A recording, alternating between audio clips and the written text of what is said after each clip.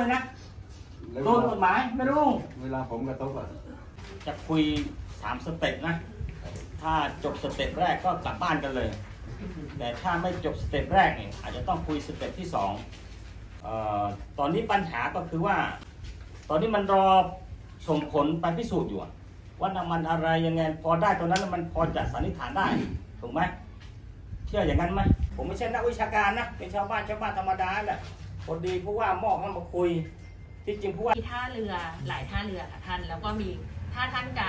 สมมติฐานน่าจะสมมติฐานมาจากท่าเรือใดท่าเรือหนึ่งในแถวนี้ท่าเรือของเอกชนเหรอ ใช่ค่ะ มีท่าเรือน้ำลึกท่าเรือปทสพแล้วก็มีคลังน้ำมันอีกสองแห่งค่ะ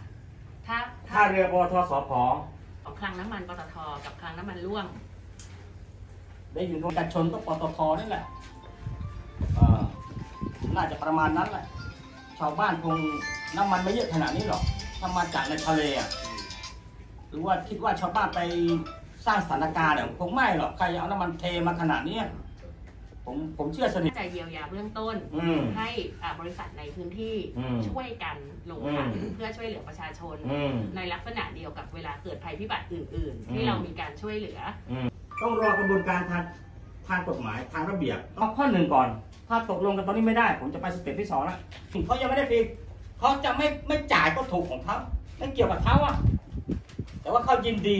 ในฐานะที่อยู่ในชุมชนเดียวกัน อยากเยียวยาอยากช่วยเหลือ เพราะฉะนั้นทั้งหมดก็สามบริษัทรวมกันได้1ล้าน2แสนบาท ซึ่งเป็นวงเงินที่เป็นเพดานของทุกบริษัทรวมกัน อืม ก็คือได้มากสุดเท่านี้เป็นเพดานสูงสุด ตกคนละเท่าไหร่อะ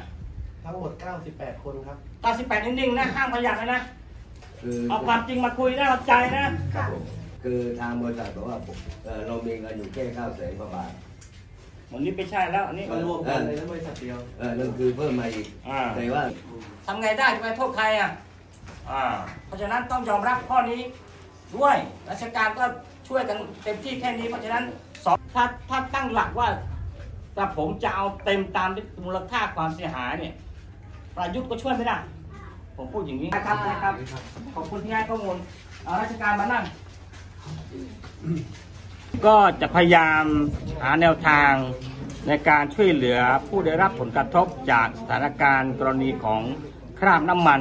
เอ่อขึ้นมาที่ชายฝั่ง ซึ่งเรายังพิสูจน์ชัดไม่ได้ว่าเป็นเป็นน้ำมันจากอะไรอย่างไร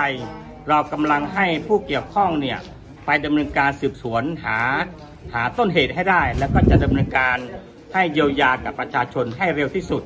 ในกระบวนการตรงนี้เราจะใช้เวลาพิสูจน์เนี่ยมันจะกำหนดวันชัดเจนไม่ได้ แต่ตอนนี้เราเอาคราบน้ำมันตัวอย่าง